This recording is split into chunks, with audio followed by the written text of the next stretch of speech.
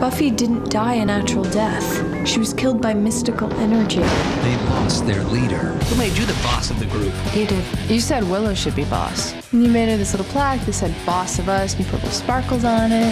But you can't keep a good Slayer down. Buffy? Sarah Michelle Gellar, Is it you? Buffy the Vampire Slayer.